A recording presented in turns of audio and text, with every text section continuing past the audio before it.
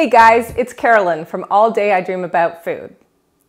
One thing I find that people miss most on the keto diet is crunchy snacks. They miss popcorn, they miss chips, they miss things that really crunch when they bite into them.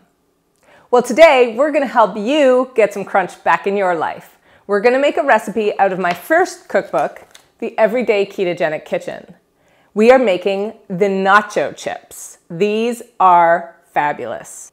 They're truly crunchy, they taste just like Doritos, and my kids absolutely loved them, so that was a win.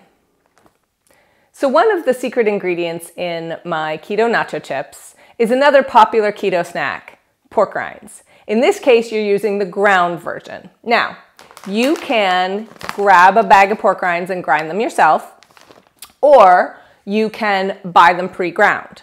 Now, if you're doing it from whole pork rinds, you definitely want to grind them very finely in a food processor, and you wanna make sure you measure them out after you grind them.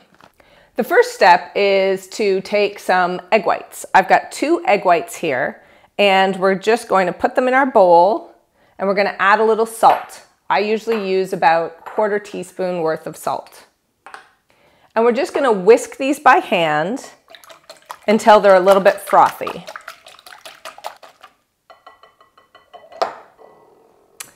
Now, after I've got a nice froth going on my egg whites, all I have to do is put in one and a half cups of the pork rinds. These are the pork rind crumbs from Pork King Good, and they're really nicely ground. Sometimes there's a little bit of a bigger chunk, but not really a big deal. So just put those in there. And then we have a cup of shredded cheese. I just bought some pre-shredded cheese, but you can easily shred your own if you prefer.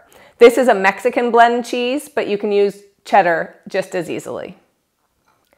And finally, to that, we are going to add one tablespoon of taco seasoning. Now, this is pre-mixed taco seasoning. It's organic. It doesn't have any other fillers.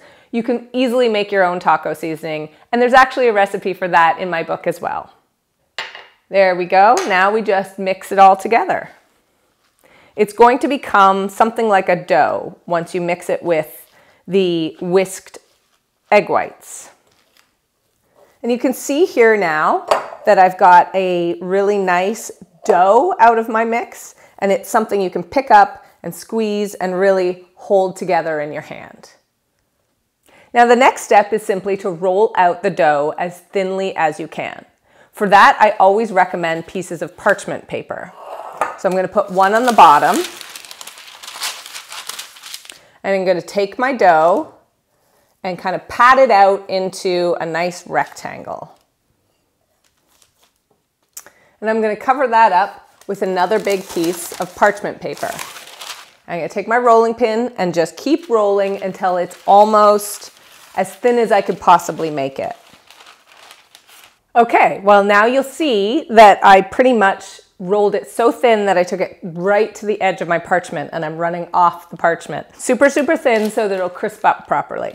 Now you're just gonna take off your top piece of parchment and you're going to take a sharp knife, or I like to use a pizza cutter, and cut it into two inch squares. Now all you need to do is cut each of those squares diagonally so that you have two triangles and they're more chip shaped.